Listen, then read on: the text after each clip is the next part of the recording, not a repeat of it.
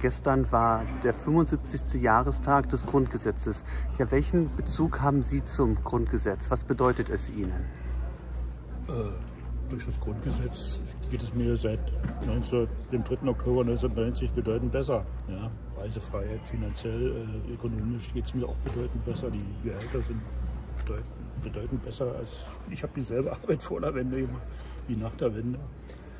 Welche Arbeit? Ich war Chauffeur beim Senat. Mhm. Und, äh, das war schon ein deutlicher Schritt in eine positive Richtung. Kann mich nicht anders sagen.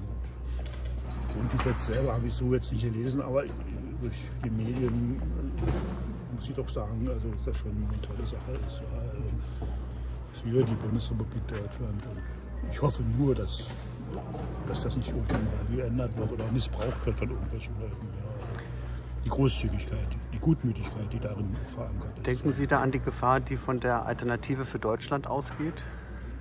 Ich kann diese Leute schlecht einschätzen. Ich wähle sie nicht. Äh, Gefahr weiß ich jetzt nicht, kann ich nicht beurteilen. Hm.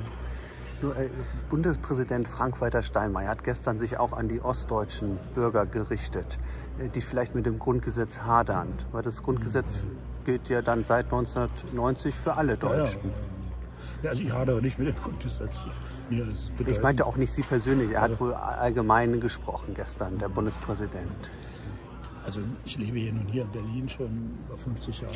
Ich kann mich nicht beklagen. Hier. Also, auf keinen Fall alles äh, anhört. Und, äh, ich wüsste jetzt nicht, warum ich mit, oder jemand kennen sollte, der mit dem Grundsatz hadert. Weiß ich nicht. Also äh, ich habe keinen Grund, irgendwie mich zu beklagen.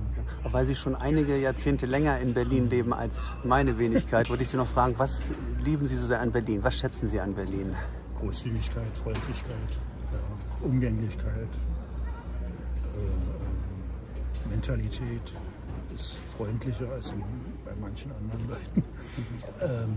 ähm, der Service, äh, U-Bahn, S-Bahn, das ist alles in anderen Städten nicht so äh, perfekt ausgebaut. Ähm, könnte noch so viel sagen, fällt mir bloß nicht ein. Ja. Ähm, ist immer so, wenn man plötzlich ja, eine ja, Kamera vorm Gesicht hat. Ne? Ich möchte auch nicht in Ihrer Lage sein. Worauf freuen Sie sich heute? Ich würde jetzt gerne hier ins Haus gehen, hier, mhm. mir das ein bisschen angucken und dann zum äh, Demokratiefest und da sind die Bundesländer. Mhm. Ach, die äh, präsentieren sich da immer, mhm. also bei anderen Veranstaltungen, 3. Oktober und so weiter ja. und so weiter. Das ist immer interessant, ja, die, die äh, verschiedenen, äh, wie soll ich sagen, Prospekte oder, oder ja, manchmal gibt es ja. auch Essen. Also ich weiß nicht, ob es was aus dem Bund Ich bin wegen dem Essen hier. Zum Essen heute gibt, weiß ich nicht, oder zu trinken. Ja, ja. Ähm, diese verschiedenen Kulturen kann man ja nicht sagen, aber äh, äh doch vielleicht doch. Doch, für die Vielfalt. Deutschland ist ja auch ein Land der Vielfalt. Deutschland verschiedene ja. Mentalitäten und genau, Kulturen. Kulturen ja. Dialekte. Ähm, Dialekte, ja, ja, ja. Okay. Das so ein bisschen kennenzulernen, das ist sehr interessant.